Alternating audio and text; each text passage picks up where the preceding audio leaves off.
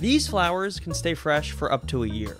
Much like any expensive looking, intrinsically cool, mechanically useless product, they were popularized by celebrities Gigi Hadid, DJ Khaled, and the Kardashian family of Calabasas, California, just to name a few. And given Valentine's Day is, or was, depending on when you watch this, right around the corner, I figure it's a perfect time to get in on the fun and gift something that will last far longer than the relationship itself. There was only one problem they cost $400. Now, this would be all fine and dandy, except for the fact that, unlike the Kardashians of Calabasas, California, I don't have a 20 season network television show and can't afford the hefty price tag. Which is why today, I'm going to be making them myself.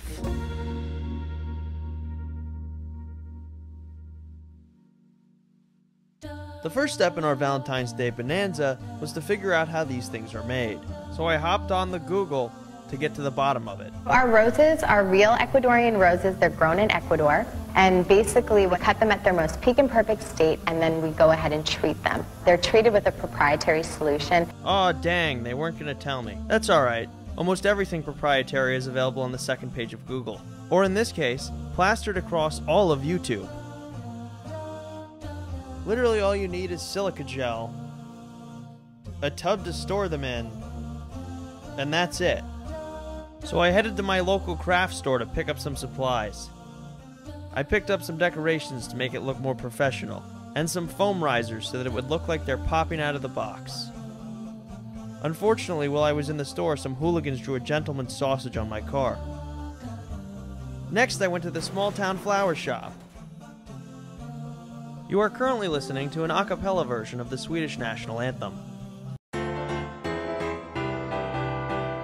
Check out this artsy decoration. It's actually just a piece of spare sheetrock with some spray paint overspray on top of my laundry hamper and a bedside table. Okay, so we've got our silica gel, we've got our flowers. Do you have a pair of scissors?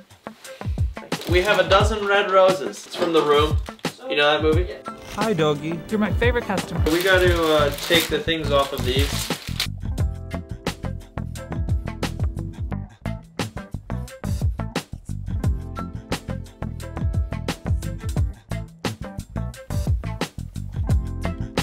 Pull out your thing. Gloves? Silica gel is toxic, so it's very important that you use gloves and wear a mask.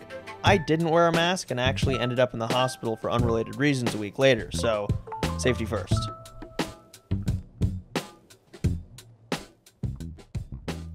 One bag of silica gel fit 20 roses very snugly. If I was doing this again, I wouldn't put so many roses in one box.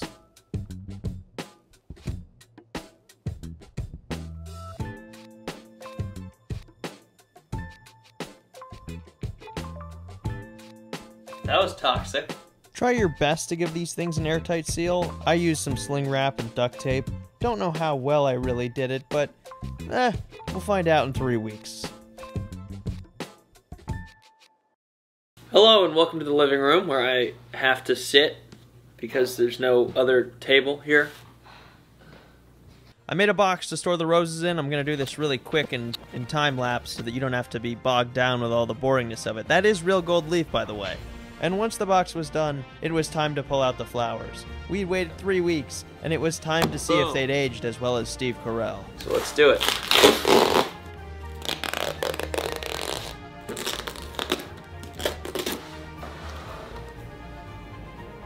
I feel like I'm doing like an archaeological dig. They still, it's very interesting because they're still soft.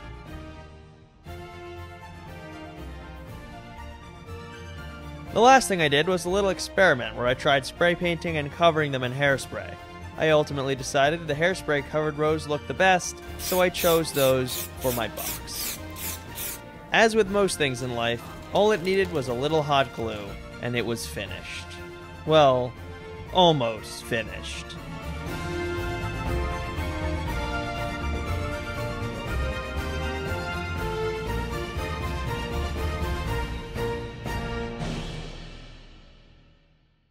Overall, I was rather pleased with how they turned out. However, I will say that they took a hell of a long time to make and actually ended up costing me like 80 bucks when all the materials were accounted for. So if you're some type of corporate lawyer who makes like $700 an hour, you're way better off just buying the real thing. However, there is something to be said for handmade gifts, and if you want a fun project that takes 3 weeks, this could be the one. Hi everyone. So the truth is I don't actually have a Valentine this year because I'm staying safe and staying home and wearing a mask except when using silica gel which means I don't actually have anyone to give these flowers to, so I'm going to give you the opportunity to get them. You can pick them up on eBay. I'm doing an eBay listing, it'll be linked in the description. All the proceeds from the auction will be donated to my lawyer who is processing my divorce right now, so fun. In all seriousness, I'll be donating the profits to a charity of the winner's choice. So if you want me as Arnold Schwarzenegger, uh, place a bid, and uh, as always, thanks for watching.